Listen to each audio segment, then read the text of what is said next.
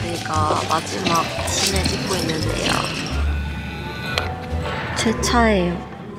트레일러 촬영을 위해 flex 했습니다. 많은 분들이 채영아 내가 운전을 못할 거라고 예상하지만 난 잘할 수도 있어.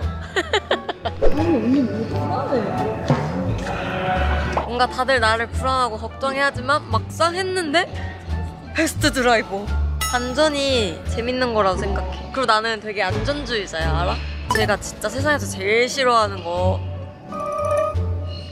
빨간불인데 건너는 거. 면허 좀 따, 면허부터 따세요, 채영 씨는. 나뭐할 일이 없었어. 채영이는 진짜 솔직히 나보다 할 일이 없을 것 같아. 차는 조금 더 생각해 볼게요, 제가. 너무 오래됐어, 나.